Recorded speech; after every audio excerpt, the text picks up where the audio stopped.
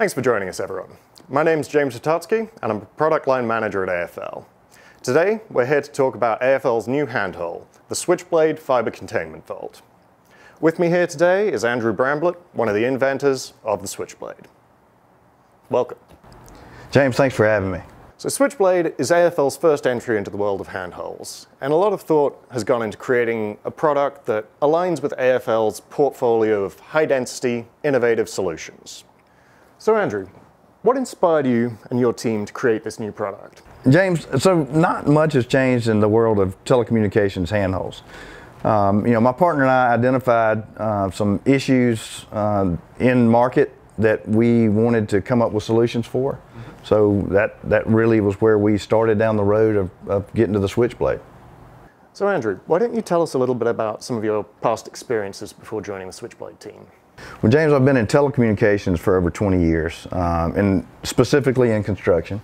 Uh, my background uh, before that was general construction. So, you know, when I came into telecom, I, I, didn't have the, the same perspective that everybody else in telecom did.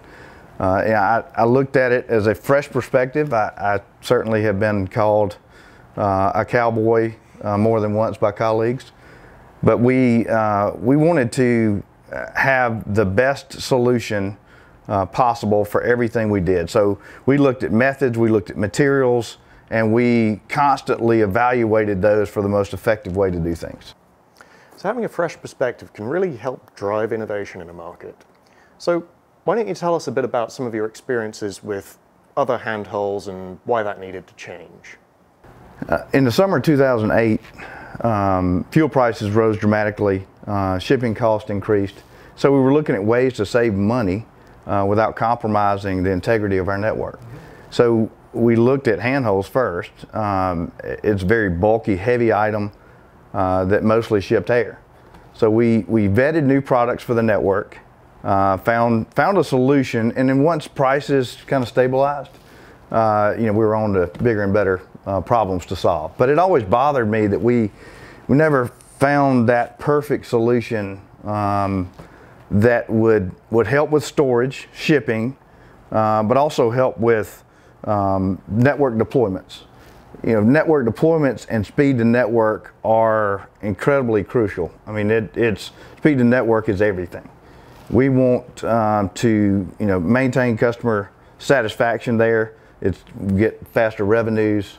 Uh, we are, um, we can get absolute advantage, which creates a, a situation where crews can go uh, to to additional jobs and gain gain more ground. So that's the things we were looking at when we when we tried to solve this problem in the beginning.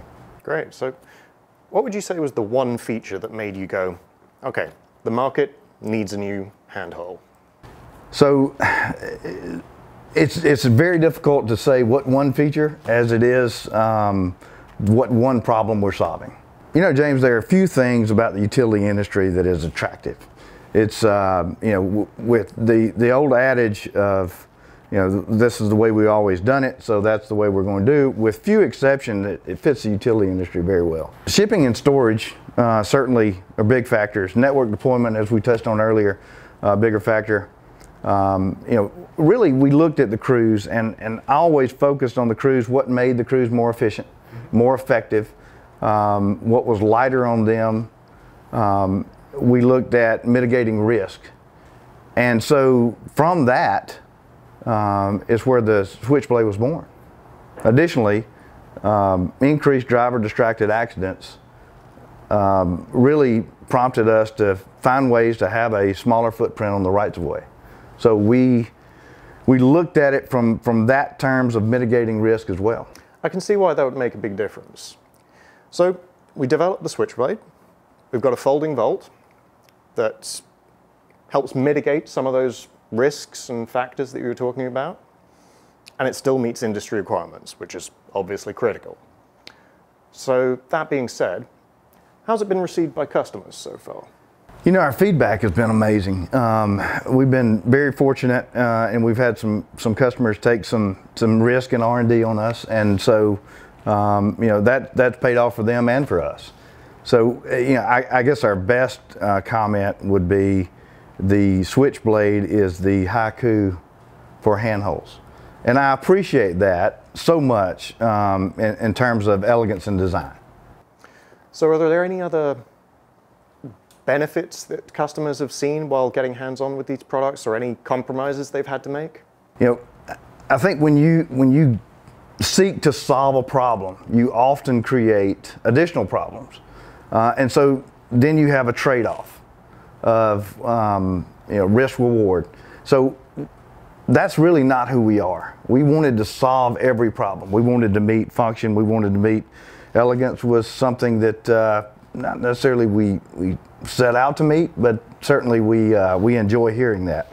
Um, but we wanted to meet spec. We wanted to solve everybody's issue uh, from the front office to the last guy the, in the hole. We wanted a handhold that performed um, not only from a, a, engineering specification, we wanted something to perform in the real world because there is a difference. I mean, the real world environment is, is fraught with uh, weather changes and environmental changes, soil. Um, so, you know, we set out to do that. My partner and I spent a lot of time vetting our handhold. And so we wanted to make sure that we were giving the market the best handhold. So without compromise.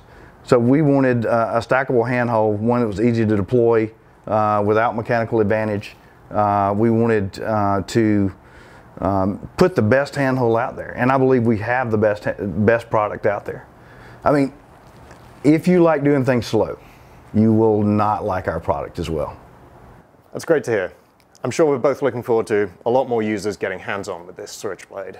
So, Andru, thank you so much for just giving us that bit of insight into the creation, the inception of the Switchblade product. James, it's been my pleasure. Thank you. And thank you all for joining us. We look forward to partnering with you on your next Telcom build.